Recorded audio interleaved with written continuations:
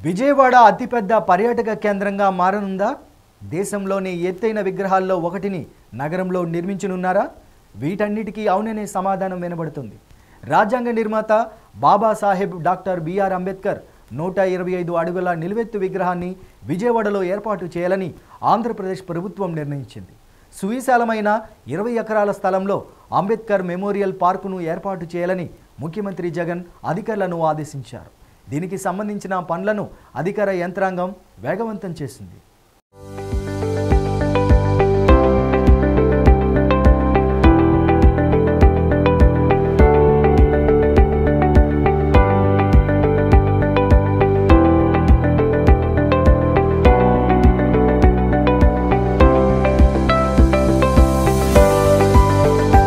దేశంలోనే అతి ఎత్తైన డాక్టర్ అంబేద్కర్ విగ్రహాన్ని విజయవాడలో ఏర్పాటు చేయాలని రాష్ట్ర ప్రభుత్వం నిర్ణయించింది.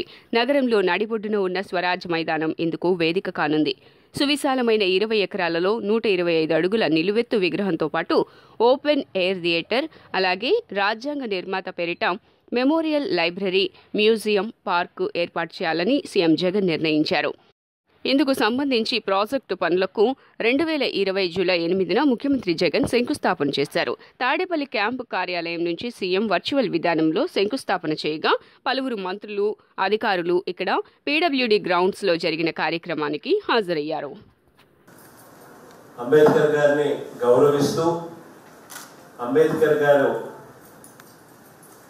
ఎలాంటి చోట ఇలాంటి విగ్రహం ఉండాలి అని ఆలోచన చేసినప్పుడు నిజంగా ఒక ఏడు ఎకరాల స్థలం విజయవాడ నడిబొడ్డులో ఉంది. అక్కడ ఒక మంచి పార్క్ వస్తే ఆహ్లాదకరమైన వాతావరణం ఉంటుంది. ఆ పార్క్లో నలుగురు వాకింగ్ చేయొచ్చు ఆస్వాదించవచ్చు అంబేద్కర్ గారు ఆ పార్క్ అన్ని రకాలుగా కూడా ఉపయోగపడుతుంది ప్రజలకు. అటువంటి చోట అంబేద్కర్ గారి లాంటి గొప్ప వ్యక్తి విగ్రహం కూడా అక్కడే ఉంటే ఆయన చేసిన మంచి ఎప్పుడూ కూడా అందరికీ కూడా గుర్తుకొచ్చే పరిస్థితి కూడా ఎప్పుడూ ఉంటుందనే ఉద్దేశంతో అంబేద్కర్ గారి విగ్రహానికి అక్కడ శ్రీకారం చుడతా ఉన్నాం. మనస్ఫూర్తిగా కూడా ఆశిస్తూ ఈ కార్యక్రమానికి శ్రీకారం చుడతా ఉన్నాం.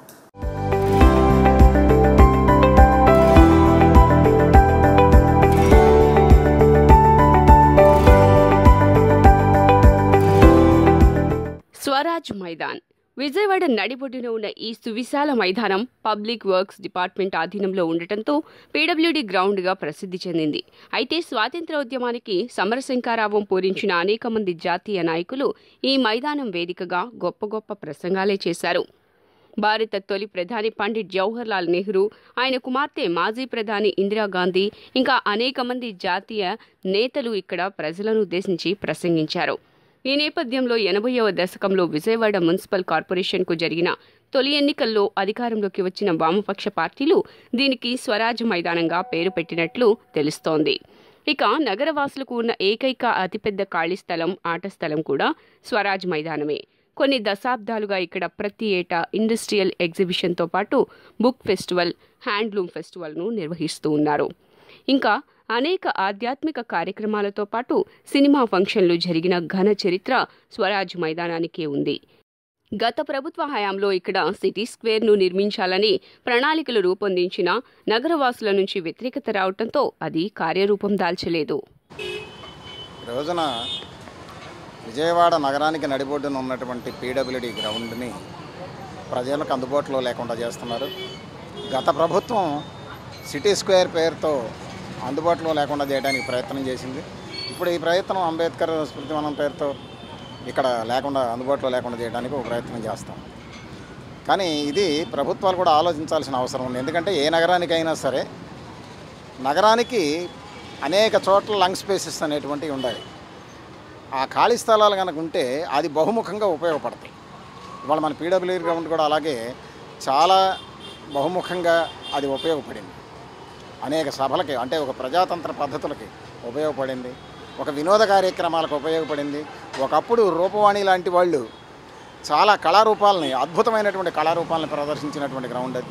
ప్రపంచ దేశాల్లో భారతదేశాన్ని ఒక సగర్వంగా ప్రజాస్వామిక వ్యవస్థను నిర్మించి భార భారతదేశాన్ని సగౌరవంగా నిలబెట్టిన భారత డాక్టర్ బిఆర్ అంబేద్కర్ గారి నూట నూట ఇరవై ఐదు సంవత్సరాలు పూర్తయిన సందర్భంగా ఏదైతే ప్రపంచ విజయవాడ నగరం నడిబొడ్డున పీడబ్ల్యూడి గ్రౌండ్ ఉందో అది అత్యంత ప్రతిష్టాత్మకమైన విజయవాడ నగరంలో కల్లా ప్రతిష్టాత్మకమైన పీడబ్ల్యూడి గ్రౌండ్స్. మన భారతదేశ స్వాతంత్రం వచ్చిన దగ్గర నుంచి నెహ్రూ గారు కానీ గాంధీ గారు కానీ అలాగే ఇందిరాగాంధీ కానీ ఇతర పెద్దలు స్వాతంత్ర సమరయోధులు అందరూ పెద్ద పెద్ద సభలో సమావేశాలు నిర్వహించిన ఆ ప్రదేశాన్ని ఎంచుకోవటం దానిలో అంబేద్కర్ గారి విగ్రహాన్ని ఏర్పాటు చేయడం అంతంత సంతోషకరమైన విషయం. దీన్ని ఆంధ్రప్రదేశ్ డప్పు కళాకారుల సంఘంగా దీన్ని మంచిగా పరిణామంగా భావిస్తూ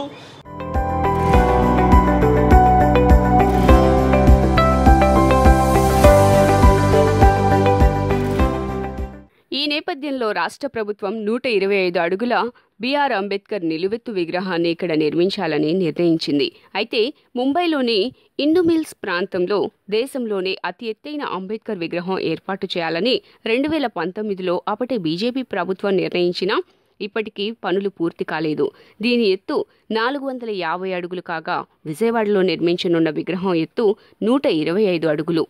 విజయవాడలో నిర్మించే అతిపెద్ద ప్రాజెక్టు ఇదే అయ్యే అవకాశం ఉంది. బాబాసాహెబ్ భారీ విగ్రహంతో పాటు అతిపెద్ద ఆడిటోరియం లైబ్రరీ మ్యూజియం అలాగే సందర్శకులను ఆహ్లాదపరిచేందుకు పచ్చదనంతో కూడిన పెద్ద పార్క్. దీనిని మంచి పర్యాటక కేంద్రంగా తీర్చిదిద్దాలని సీఎం జగన్ అధికారులను ఆదేశించారు. ఈ ప్రాజెక్టు పనులను ఏడాదిలో పూర్తి చేయాలని భావించినా కరోనా కారణంగా అనుకున్నంత పనులు సాగలేదు. పీడబ్ల్యూడీ గ్రౌండ్ను స్వాధీనం చేసుకున్న జిల్లా యంత్రాంగం ఇప్పుడిప్పుడే పనులను వేగవంతం చేసింది. మైదానంలో ఉన్న ప్రభుత్వ కార్యాలయాలతో పాటు ఓ ప్రైవేటు పాలిటెక్నిక్ కాలేజ్ని తొలగించారు. అలాగే ఇక్కడ ఉన్న రైతు బజార్ను కూడా అధికారులు తరలించారు. విజయవాడలో అంబేద్కర్ మెమోరియల్ ప్రాజెక్టు నిర్మించాలి అన్న ప్రభుత్వ నిర్ణయంపై మిశ్రమ స్పందన కనిపిస్తోంది. గత ప్రభుత్వం అమరావతి ప్రాంతంలో వంద కోట్లతో వంద అడుగుల అంబేద్కర్ విగ్రహాన్ని నిర్మిస్తామని చెప్పిందని అయినా పనులు పూర్తి చేయలేదని ప్రజా సంఘాల నేతలు విమర్శించారు. గత ప్రభుత్వంలా కాకుండా CM Jagan Ambedkar memorial project పనులను త్వరితగతిన పూర్తి చేయాలని వారు కోరారు. ఈ ప్రభుత్వం అంబేద్కర్ విగ్రహాన్ని పెట్టడానికి దాన్ని మొత్తం చేస్తామని చెప్పారు. ఇతర కట్టడాలు అయితే వ్యతిరేకించేవారు. అంబేద్కర్ విగ్రహం కాబట్టి దానికి చుట్టుపక్కల చేస్తామంటే అనేక అభ్యంతరాలు ఉన్నా ప్రజలు దాన్ని ఎవరూ వ్యతిరేకించలేదు. కానీ ప్రభుత్వం మాటలు చెప్పినంత త్వరగా జరగట్ల. గతంలో రాజధానిలో అమరావతిలో భారీ అంబేద్కర్ విగ్రహం అన్నారు. ఇప్పుడు పీడబ్ల్యూడీ గ్రౌండ్లో భారీ విగ్రహం అన్నారు. అక్కడ సంపూర్ణంగా జరగల ఇక్కడ సంపూర్ణంగా జరగల. మరి ఇది నెలలు గడిచిపోతున్నాయి సంవత్సరాలు గడిచిపోతున్నాయి తప్ప అది అటు ఇటు కాకుండా ఉండిపోయిన పరిస్థితి ఏర్పడింది. నిజంగా ప్రభుత్వానికి చిత్తశుద్ధి ఉంటే ఆ అంబేద్కర్ విగ్రహం దీన్నైనా త్వరగా పూర్తి చేయాల్సినటువంటి అవసరం ఉంది. అలాగే నగరంలో ఒక విశాలమైనటువంటి ఖాళీ స్థలాలని ప్రభుత్వాలు పరిరక్షించాలి. తప్పనిసరిగా భవిష్యత్తు అవసరాలకి కావాలి. కాబట్టి మరి పీడబ్ల్యూ గ్రౌండ్లో అంబేద్కర్ విగ్రహం కూడా దాని ప్రత్యామ్నాయమైనటువంటి ఏర్పాట్లు ఎక్కడ ఉన్నాయి నగరంలో? అది కూడా ప్రభుత్వం ఏర్పాటు చేయాల్సిన బాధ్యత ఉంది.